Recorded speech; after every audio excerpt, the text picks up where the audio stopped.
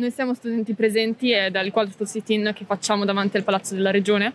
Quello che noi vogliamo è una riapertura in sicurezza delle scuole anche superiori. Microfoni spenti è, è, il simbolo che abbiamo scelto per questa manifestazione perché è così che siamo costretti ormai a seguire le lezioni, ma le lezioni soprattutto alle scuole superiori dovrebbero essere dialogo e stiamo perdendo tutta quella componente anche di cittadinanza che, che la scuola ci fornisce e, e di dialogo, di interazione anche con i coetanei.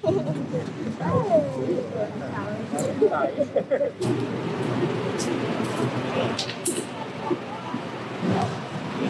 you.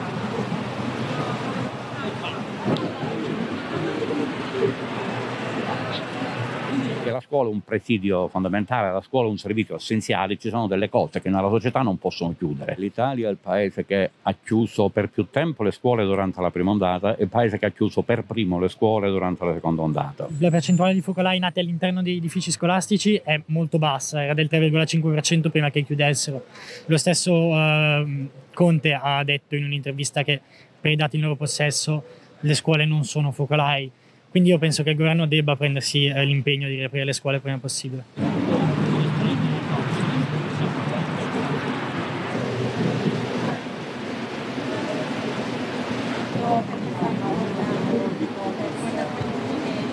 Livello psicologico è una situazione pesante per eh, degli adolescenti che sono stati tra l'altro dipinti dalle, dai media come untori e, e quindi anche l'ansia di, di, poter contagiare qualsiasi persona ci sia attorno, parenti. Eh, secondo me è stato sbagliato anche il fatto di mh, mm, far passare questo, questo virus come una guerra tra giovani contro vecchi che si è sentita molto nel nostro paese. Poi inoltre per tutti, anche per chi ha la connessione migliore al mondo, la, la, didattica a distanza non può sostituire la didattica in presenza perché ci sono delle dimensioni della scuola come il dialogo, il confronto che eh, a distanza non, non possono essere portate avanti.